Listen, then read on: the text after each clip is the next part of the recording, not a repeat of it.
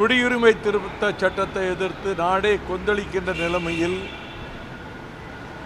ஜனநாயகத்தின் இதயபீடமான நாடாளுமன்றத்தில் அது பற்றி வாதிப்பதற்கு காங்கிரஸ் அனுமதிக்கவில்லை. இரண்டு அவைகளிலும் அந்த வாதம் நடைபெறவில்லை. கொரோனா வைரஸை பற்றி மட்டும் நேற்றைக்கு மக்கள் நல்வாழ்வுத்துறை அமைச்சர் ஒரு அறிக்கை கொடுத்தார். இது ஜனநாயகத்தில் நாட்டு மக்கள் மத்தியிலே எவ்வளவு கொந்தளிப்பு இருக்கிறதோ அதை பற்றி பேச வேண்டும்.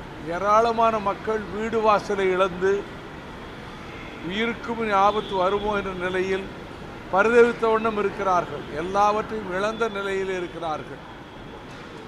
இங்கே நான் கேள்விப்பட்டேன் நேற்றைக்கு தாம்பரத்தில் சானிட்டோரியத்துக்கு அருகாமையிலே ஒரு முப்பத்தைந்து ஆண்டுகளாக இருந்து வந்த ஒரு தேவாலயம் அடியோடு இடித்து தகர்க்கப்பட்டது என்று.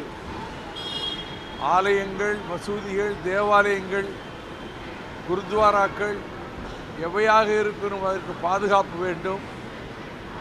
இந்த கொடிய சம்பவத்துக்கு காரணமானவர்கள் மீது கடும் நடவடிக்கை எடுக்கப்பட வேண்டும். இது தமிழகத்துக்கு நல்லதல்ல.